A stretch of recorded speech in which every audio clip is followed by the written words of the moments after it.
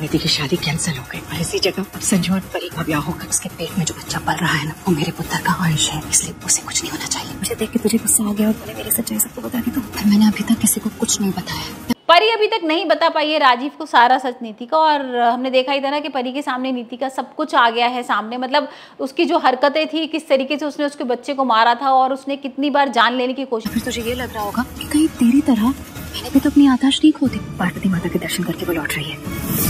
रास्ते में से धक्का मार के खाई में गिराना।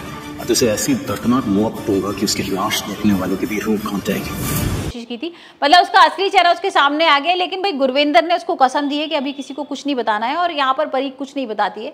और वहीं हम देख रहे हैं कि सारे लोग ना राजीव और नीति की शादी करने की तैयारी कर रहे हैं और जो ताई जी है वो पहुँच गई हैं अपने वैष्णो देवी माता के दरबार और वहाँ से ना वो फ़ोन करती है। मतलब अचानक से उनको ऐसा कुछ लगता है कि कुछ तो होने वाला है परी के साथ और उनको घबराहट होने लगती है और यहाँ पर वो राजीव और परी को फ़ोन करके बोलती है काम करते हैं, तुम्हें शादी करने की ज़रूरत क्या है नीति के साथ? और एक हम ना नीति को किसी और जगह भेज देते हैं जहाँ पर कोई किसी को नहीं जानता हो। और हम थोड़े दिन वहाँ रुकेंगे नीति को भी रोकेंगे और जैसे ही वो बच्चा हो जाएगा बच्चा लेकर हम परी को दे देंगे। यहाँ पर नीति के जब बच्चा होगा तो नीति परी को बच्चा देकर चली जाएगी।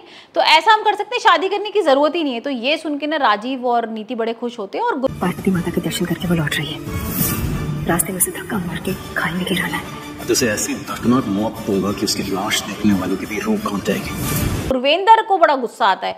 वो कहती है, एक काम करते हैं, ठीक है, आप जैसा कह रही हो, अब हम तो निकल चुके ना, हम घर वापस नहीं जाएँगे, हम माता के दरबार में दर्शन करते हैं और यहाँ पर राजीव और परी की शादी करा देंगे। भाई, मैं तो बहुत खुश हूँ राजीव और परी को एक साथ देखने के लिए। यहाँ पर राजीव और परी तो बहुत खुश है, लेकिन ताई जी को समझ में नहीं आ रहा, गुरविंदर इतनी अच्छी कैसे हो गई है? और गुरविंदर पहुँच जाती है बेबी और नीति के पास और उनको सब कुछ बता देती है कि भाई ऐसा ऐसा हुआ है और अब तुम एक काम करो, अब कोई रिस्क मत लो। यहाँ पर परी को जितनी जल्दी से जल्दी हो सकता है, मार दो, क्योंकि अगर परी ने कुछ भी बता दिया तो शादी तो होने से रहेगी और हम सारे लोग ना जेल में होंगे अब यहाँ पर नीति ना बुलाएगी राकेश को और अब हम देखेंगे कि राकेश की एंट्री हो गई है। और जो नीति के हाथ में बंदूक थी ना, वो राकेश के हाथ में होगी और अब राकेश लेगा परी की जान।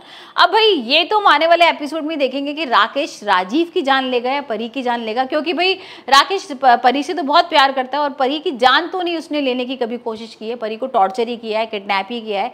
लेकिन यहाँ पर राजीव को कई बार मारने की कोशिश की है। तो अब देखते हैं आने वाले एपिसोड में भाई, राजीव की जाएगी जान या परी की जाएगी जान।